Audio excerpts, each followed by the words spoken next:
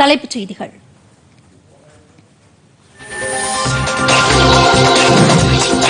Ayushman Bharat digital இயக்கம் மருத்துவத்துறையில் புரட்சிகரமான மாற்றத்தை கொண்டுவரும்.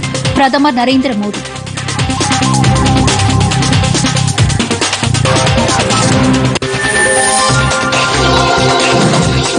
அண்டை நாடுகள் ஊக்குவிக்கும் பயங்கரவாதத்தை நமது பாதுகாப்பு படையினர் துணிச்சலாக எதிர்கொண்டு வருகின்றனர்.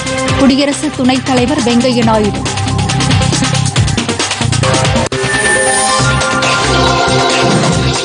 இந்தியாவில் சமய சுற்றுலாவுக்கு மிக பெரும் வாய்ப்புகள் உள்ளன. மத்திய அமைச்சர் அனுராக் சிங் தாக்கூர்.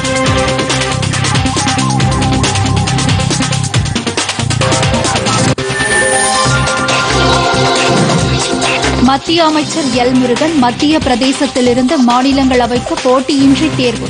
தேர்தல் அதிகாரி அதிகாரப்பூர்வ அறிவிப்பு.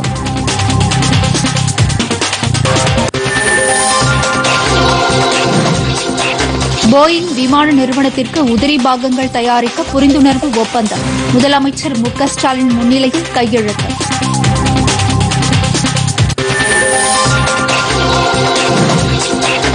நகர்ப்புற உள்ளாட்சி தேர்தலை நடத்த தமிழக தேர்தல் ஆணையத்திற்கு உச்சநீதிமன்றம் நான்கு மாத கால அவகாசம்.